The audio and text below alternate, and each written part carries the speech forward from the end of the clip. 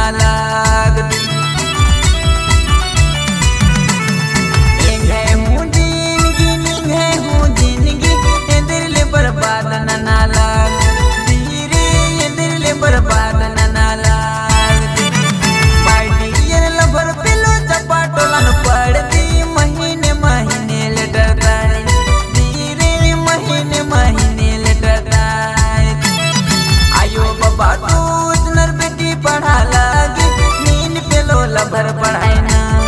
धीरे नींद पे लोग को फंसा